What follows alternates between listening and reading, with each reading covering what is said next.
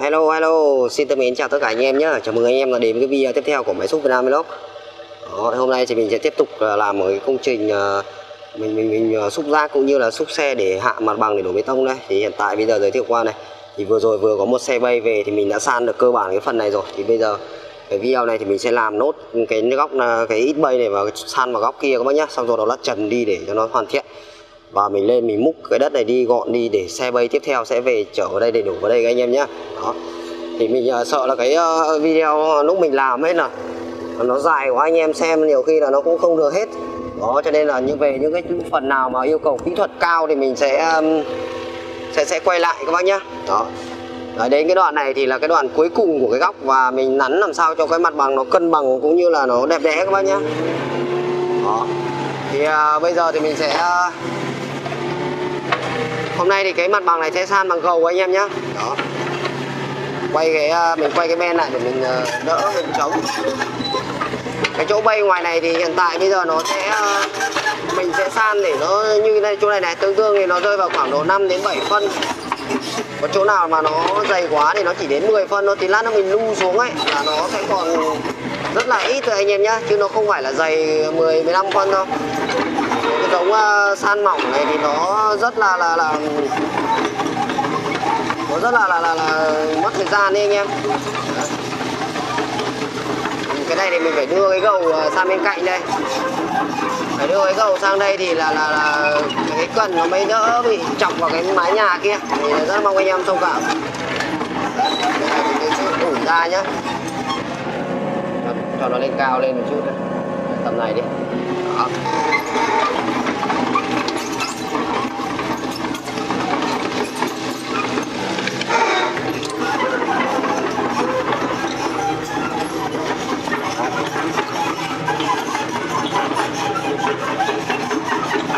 Giờ mình sẽ đứng ra cái vế bên này để lát nữa sẽ ờ, gạt nó ngang sang.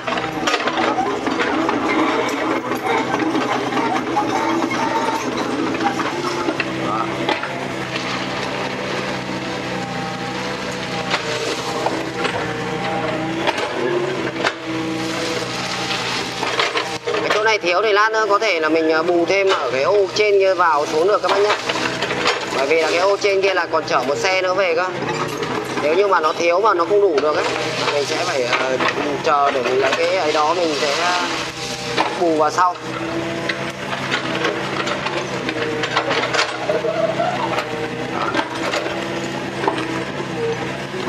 Gạt hết là những cái góc này đi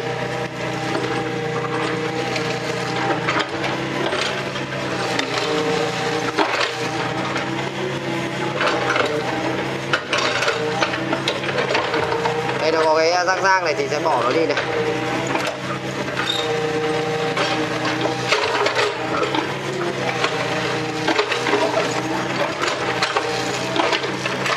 Gạt lên nhá.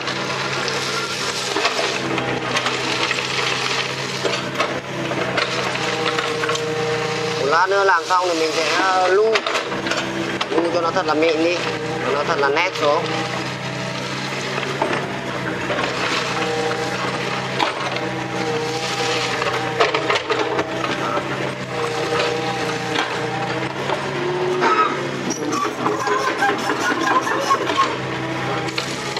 Đây cái này đã gạt à, này một chút này.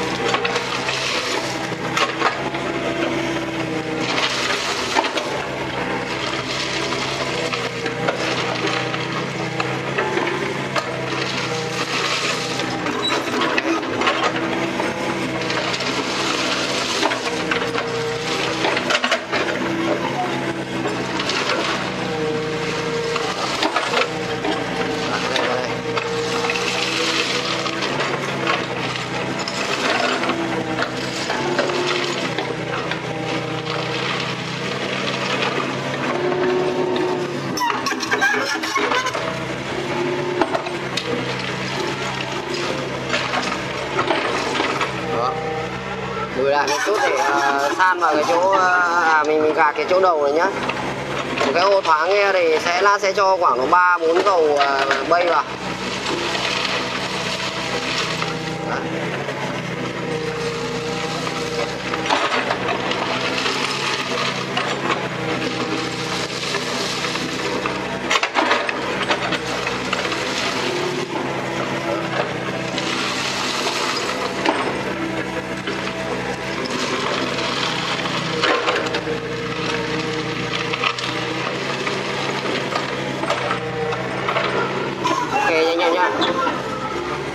thì chỗ này thì mình sẽ gạt nó lại một chút này.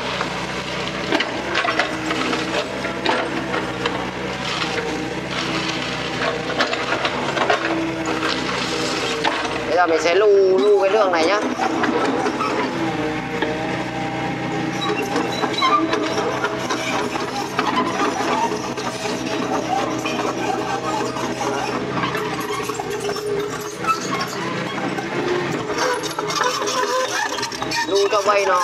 Nén xuống. Cho nó chặt xuống. Do là cái thời tiết bây giờ nó rất là khô, ráo các bác. Cho nên là cái xích của mình nó cũng đang à, khô kêu rất là to này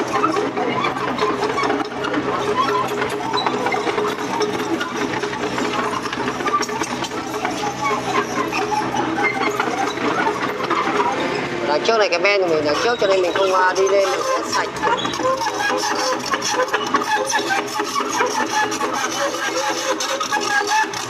Đó, bây giờ mình sẽ ờ, cho cái camera lên trên cao bên trên này nhá. Đó, cho lên đây đi. Cái này thì uh, trên này thì nó hơi cao mình sẽ hạ bớt nó xuống. Đó. Cái góc quay này thì là nó uh, anh em nhìn thấy, thấy nó sẽ rất là rộng. Lúc nào mà làm chỗ nào yêu cầu uh, kỹ thuật ở đằng trước thì mình sẽ quay ra đằng trước còn làm ở trên thì mình sẽ quay ở trên.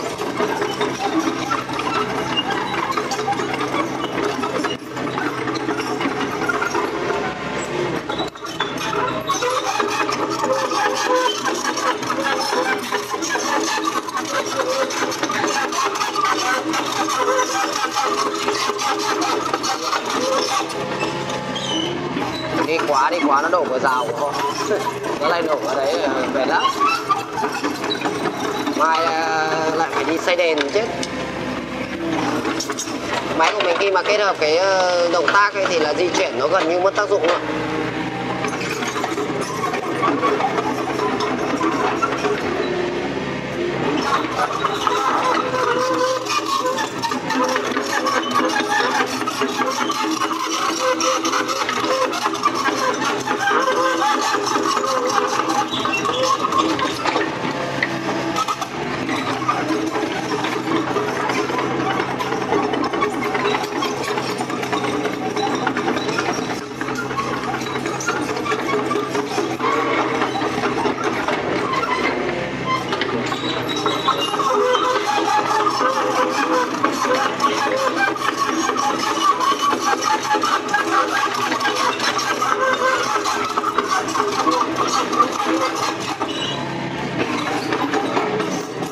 vẽ bên này coi như là đã ổn thôi nhá.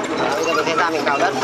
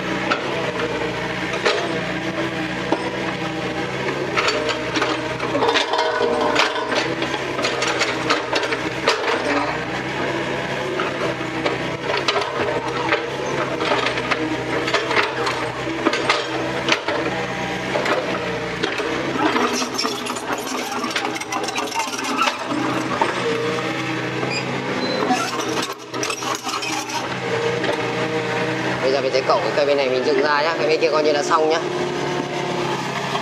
Bác ơi, cây này để chỗ nào bác nhỉ? À bên ngoài này á? Cái chị kia chị bảo là ở đây. Nó bảo giống này á Vâng. Vừa nó ở máy mà lên thì cháu cầm hai cây ở ngoài này Mới đào cho cháu cái hố thủy ngoại bên ngoài Điện hỏi nó là Đây có cái hố thủ ngoại nữa. Nó bảo cô là như thế Còn vợ nó thì chịu Bảo đi cho qua xem tầng chỗ nào Trong cửa rào hay là ngoài ngoài chó ngoài rào chó hay là trong? Tháng này thì chị bảo ở đây. Thôi cái cây này thì mình sẽ để mình ờ, liên hệ với chủ nhà xong rồi mình sẽ thi công sau các bác nhá. Đó. Tạm thời mình cũng vét đất lên đây đã. Ok thôi chào anh em nhé